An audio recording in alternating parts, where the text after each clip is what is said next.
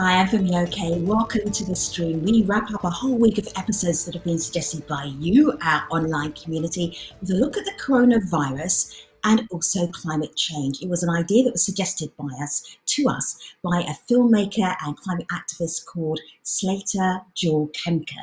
Have a look here at how she framed the discussion. She wanted to talk about the intersection between the COVID and climate crises. And our YouTube chat is open. I know some of you have already jumped in it. You can add your comments, add your ideas about climate change and coronavirus, and then you too can be in the stream.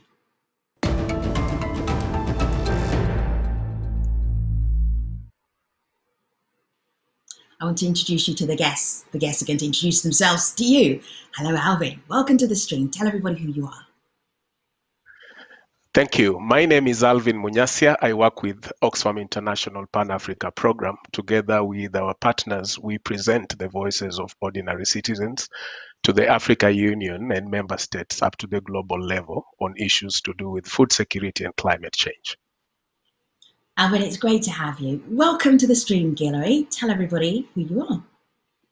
Thanks for having me. I'm a climate science uh, and environment correspondent with AJ Plus and National Geographic Channel. Thanks for being in the stream and welcome back to the stream, Christiana. There may be one or two people in the world who do not know who you are, but I guarantee they know your work. Introduce yourselves. Well, everyone knows who you are, Femi. So thank you for the invitation. Lovely to be with you again. I'm Christiana Figueres. I am a Costa Rican citizen. I'm speaking to you from Costa Rica. I used to work for the United Nations and had the pleasure to lead the negotiations into the Paris Agreement on climate change. Um, and I continue to be the faithful servant of the global atmosphere and our wonderful planet. So, Christiana and Guess, I want you to start with making that connection between where we are with a global pandemic and climate change and climate action. Christiana, how would you sum up that connection?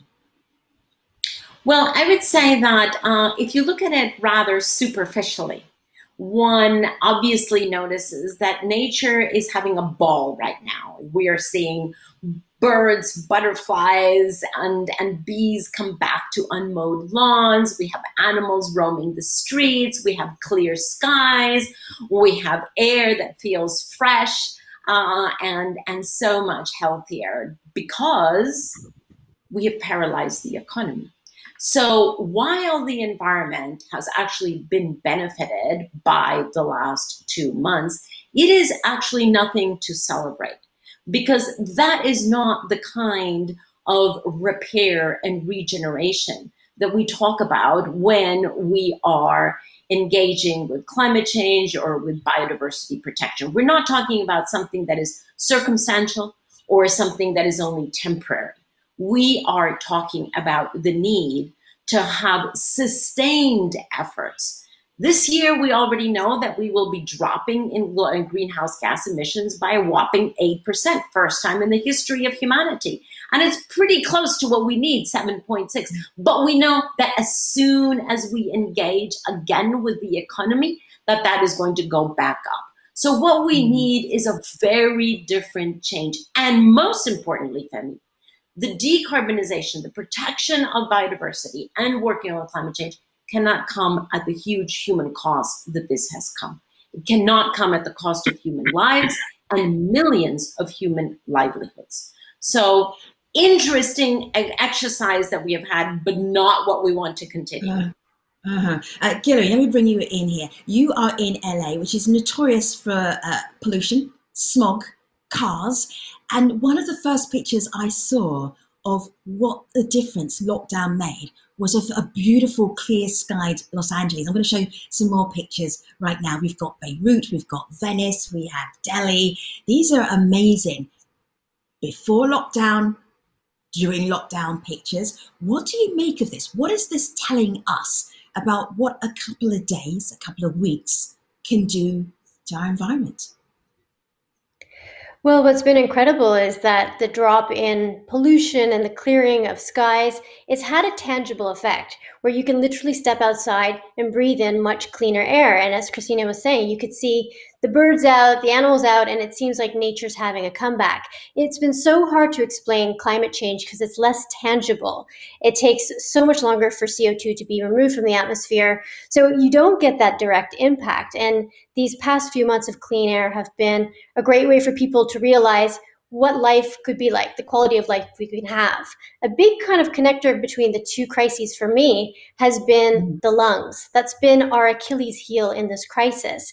And cities where people are breathing in polluted air and tolerating that, they've been harder hit uh, with the coronavirus. So there's interesting links that are happening between the two major crises. I'm just going to go to YouTube here, Alvin, and I'm going to put this to you. George Zulis says maybe it's a good idea that once a year for one month we can shut the world down and help the planet heal. Do you think that would work in Kenya? Could you just close, close for a month, walk or go cycling? Would that work? Uh, I, I, don't think it will it will work uh, because for me, in my view, inequality and poverty increases the vulnerability to climate change and, and pandemics like corona. It is the common denominator. Inequality, especially between rich countries and poor countries. It is the most obvious flaw of the current neoliberal economic model, just as my colleagues uh, Christiana has put it. Both the climate crisis and the pandemics exacerbate the persistent inequalities at different levels of the society, and those that are bound to suffer the, uh, the most uh, from these extreme effects of these two phenomena are at the poorest and they have not seen society. So it's not about uh, shutting down the world, it is about addressing the issues of inequality. Where, think of it, in a global economy where the world's richest 1% of people have more than twice as much as wealth as 4.6 billion of the poorest people on earth. And this is a report that we've done as Oxfam. So the ability of this majority of population right now to, to even access the resources they need to holistically build their resilience and bounce back to the global crisis is severely limited and in some cases not uh, non-existent. So it's about fixing the economic model, not about mm-hmm. shutting uh, the economy. Mm-hmm. Okay, all right. Uh, let me share this with you, guests. Uh, this is from a doctor, and we've seen so much from doctors recently, but doctors and climate change, that's a little bit special. Want to prevent the next pandemic? This doctor is prescribing climate action. I want to hear what he has to say. His name is Dr. Basu, and this is his take on the intersection between climate change and also the global pandemic. Let's have a look. India and Bangladesh reporting thousands of new cases of COVID 19 and by midweek, the countries were monitoring Super Cyclone Amphan, one of the most intense cyclones ever measured in the Bay of Bengal. One crisis does not end because of another one. And in South Asia this week, the COVID 19 crisis will collide with the climate crisis. Many of the solutions of the climate crisis, such as stopping deforestation and rampant agriculture, are essential to mitigating the risks of the next pandemic. We must pass transformative policy that end the era of burning fossil fuels and restore the stability of our ecosystems. Our unprecedented times demand bold thinking, and in this moment of profound disruption, we must fulfill our moral responsibility to the safety of our children by investing in the health of our planet. Christiana, Guillory, I saw you both nodding. Christiana, you go first. Guillory, you pick up second. Well, very well put. Um, and uh, a, a, simplistic and perhaps irresponsible uh, uh, summary of that is human health equals global health. We have been so used to thinking that human health can be completely independent from and not affected by global health. And we are seeing that that is not true. So we have to understand health in its fullest interpretation, and that goes all the way from individual humans to the entire planet and to every one of the ecosystems that actually are at the basis of our life. Finally, perhaps we have understood this. I think the COVID crisis has just slapped us in the face with lesson upon lesson upon lesson. Um, and the question is going to be we're learning those lessons every day. We are on the greatest learning curve that we have ever been. The question is once we open the doors of our homes and offices, Will we remember what we have learned? Will we take the lessons into policy? Will we take the lessons into individual behavioral change? Will we take the changes and make them sustain, We take the lessons and make them sustained changes and not mm. just once a month. Giri, before you jump in and, and, you continue our conversation, I want to go to Sean Lindsay, who's in our YouTube chat. Sean Lindsay says, we will see mass reindustrialization, so it will make things worse. He's not feeling very optimistic about where we are right now, Gary. He's absolutely right. Already in countries like China, we're seeing what's called the rebound effect, where they're trying to make up for lost economy and working double time. Factories are pumping out way more emissions. Already, scientists are starting to see a spike in levels. And that's the fear, that ripple effect across the planet, as everybody's trying to reboot the economy, get everybody back to work, that we're going to really just lose all the great gains that we have made in this short amount of time. Uh, something that the doctor talked about that I'm really happy that he touched upon is the issue of deforestation. It's been harder to explain that link to the general public, but the more we cut down trees and enter the habitats of wild animals and take over their homes, the more we're going to have these viruses, uh, you know, spreading across the planet. We need to make sure we talk about overpopulation, we talk about how we build cities, and cutting down forests and natural habitats to create homes for humans, skyrises, more apartment blocks is not the solution either. We have to change the way we live and dwell in our cities. Mm. Um, I, I'm, I'm looking at some of the pictures from Nairobi, Alvin, where you're based, and people were marveling at being able to see Mount Kenya. It was like, whoa, we can see Mount Kenya. That's amazing. But in terms of a very tangible difference that this global pandemic may well have on the environment around East Africa, the need for there to be cleaner air um, and also climate justice, what are you seeing that's changed or changing? You see, Nairobi and Africa has has clean air when we talk about emissions, Africa contributes about 3% of, of global emissions, and, and Christiana is here. So Africa is also bearing the brunt of, of climate change. So we are demanding for rich countries to, to, play, to pay the, the climate debt what we need in this uh, part of the world is for uh, the international community to honor their commitment of the Paris Agreement. Let's talk about climate mm-hmm. finance. They they agreed that they will be investing 100 billion of climate finance uh, to strengthen Africa's response to issues of climate justice. This is critical for countries in Africa that are vulnerable who need to reboot their economies in a sustainable and resilient way. Adaptation is needed to help vulnerable communities withstand future shocks. They're already suffering from uh, climate issues, and the risk of this pandemic will leave even will leave our people even more vulnerable to future climate shocks. So for us, but, it's about Alvin, honoring. Yeah. yeah, but Alvin, you could have said that this time last year, and nobody was listening. And now you're saying it during the global pandemic.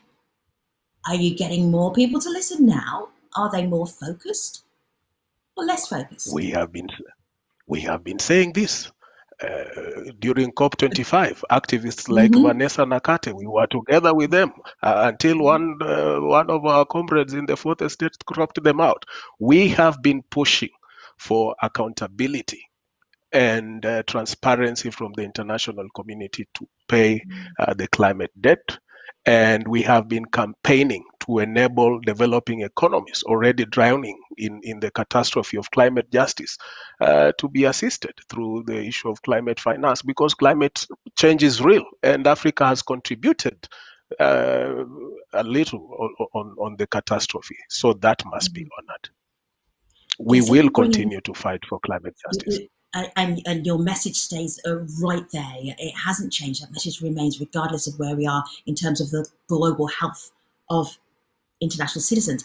Let me bring in uh, Sasanska. He is the lead in energy at Oxfam International. He's kind of thinking, how we think about this differently? Maybe we should be thinking about cars and pollution and factories, etc. Maybe we're thinking about a new kind of energy. Here he is. COVID 19 shows how we can and must prioritize building renewable energy systems which are much more resilient to future shocks. Additionally, current lockdowns could lend themselves to those of us who are in a position to revisit some of our life choices and how to live more sustainably. Things such as transportation choices, getting on a plane or not, empty office buildings which could be converted to sustainable housing and green buildings. Could be some silver linings of how we can build back better. Gila, it's spooky. You've just, just done a report for AJ Plus about this very idea green jobs coming out of the global pandemic. Tell us more.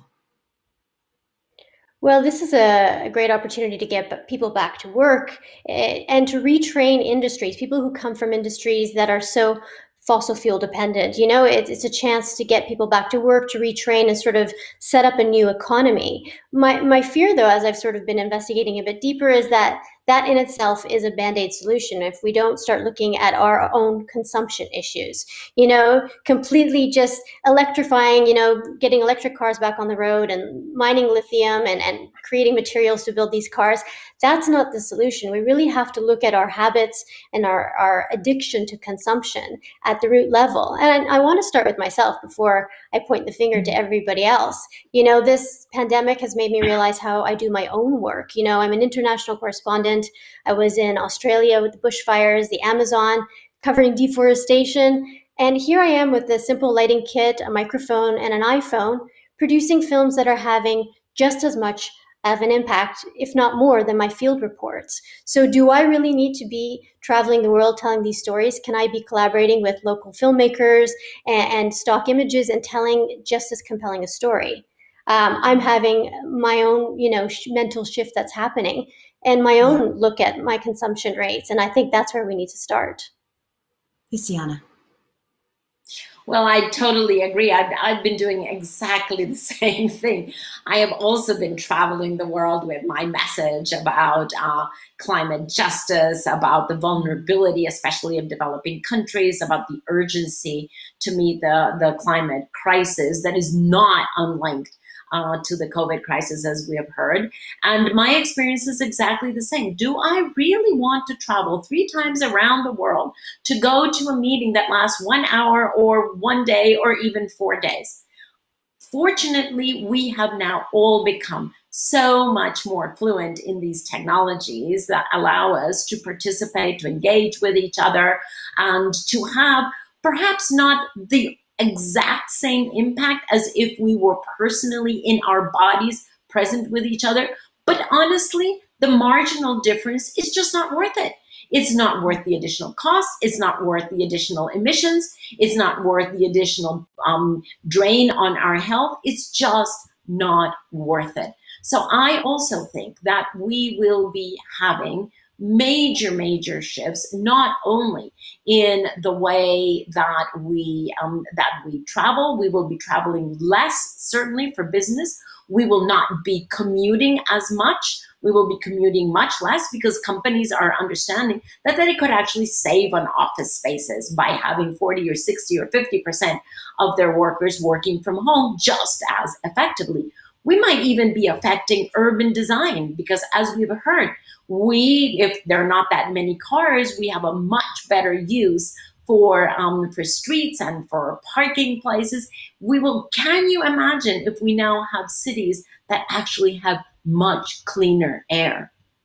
It's going to be if if we remember the lessons that we have that we are gathering here from these two months. Yeah, these are the lessons that we should have been learning, you know, for years um, and didn't and now they're just being squashed into the reality right in front of our noses. And our obligation and our responsibility here is to take those lessons and make it a reality, starting from the bottom up. If the new reality that we create, we cannot recreate what we had in the past. This is not about recovering the economy. This is about resetting, redesigning, reinventing an economy that is more resilient, that is more fair, that starts from the bottom up, creation of jobs, but not jobs that are going to disappear five or 10 years from now because those sectors basically have run their growth. We have to be able to think into the future as we redesign the economy. Mm. Christiana, let me just remind everybody something that you said right at the beginning, and, and this is something that is, is, a headline that jumped out at me. It's quite a recent one. Global CO2 emissions could fall by up to 7% this year amid the pandemic because of the lockdowns and mm, less industry, etc. But we got this question in from Twitter from Richella, and she says, Could the drop in emissions serve as a precedent to redefine international climate action targets? You've told us many times we have 10 years to get ourselves into gear, to really tackle climate change, to really act. So, do you think these last few months, perhaps another year of slower economy, less traffic, us not going out so much, what difference could that make? Well, you know, this decade really is the defining decade for, for climate because we have to be at one half the emissions that we had at the start of this year, not right now, one half um, by 2030. So a 50% drop in over 10 years is ambitious because we've never done it, but it is doable because we have shown this year that actually that was a 7% that was in that article. The latest data actually pulls us already at 8% drop. Now, as we said, not the way that we want to reach that. But it does mean that we require both individual behavior changes as well as top down regulations from governments that are going to help us optimize our emission reduction potential without reducing the well being standards. That's the trick. We have to separate greenhouse gas growth from economic growth, especially in developing countries. Those two things have to be delinked ASAP. Mm. I told you at the very beginning of the show, viewers, that this idea came to us from, for this discussion, from Slater Jewell-Kemker, who is a climate activist and a filmmaker. Uh, and she wanted to just put a little period on the end of this conversation. What has she been thinking about in the last couple of months of lockdown? Here she is there's a lot of time to think and a lot of time to reflect. And what I keep coming back to again and again throughout the surreal nature of this and the heartbreaking nature of this is how fast we've been able to move as people and adapt to this crisis. If we can take something that we always thought was not flexible and actually change everything about it within a matter of months and weeks, then if we can do that for this threat and this crisis, it gives me some optimism that we can actually rise to the challenge of the climate crisis and adapt as people and be able to create the society and the world that we need to live in in order to survive. Mm-hmm. I'm going to go to YouTube one more time to Shivansh Jitendra, and he asks, "What is the big mm-hmm. takeaway from this experience?" We have about two minutes left, guess. I'm just going to ask you to do your elevator pitch, your takeaway. Alvin, you go first. Yeah. We are now approaching at crossroads. This is an, an opportunity that we must not miss. We can either continue with the business as usual way of development or we can change. We can transform the way we do things and build an economy that nurtures our people and our planet. This is a political choice that is at stake. And for our sake and for mm. the sake of our children, we urge our leaders internationally and locally to choose the latter because sticking with the status quo will only bring about more suffering and destruction of our planet. Guillory, lessons learned. You shared a personal lesson learned. What's your takeaway? I mean, I couldn't agree more, but I have to say, amidst all this suffering and fear and loss that we're all going through, we have to make sure that we hold on to our environmental protections. So, rebooting the economy and getting people back to work is really important, but we don't need to lax important environmental protections to get back to work. So we need to keep an eye on those and make sure governments aren't swiping off those key protections in the name of the economy and rebooting and getting people back because we fought mm-hmm. hard for those and they're going to protect us in the future. Christiana, what would be the most impactful sentence that you can deliver so people remember it?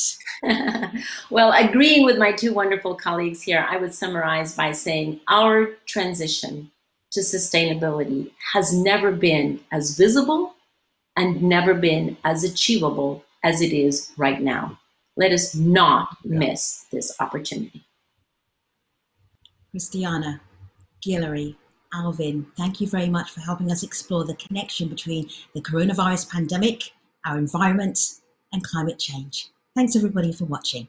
See you next time. Take care.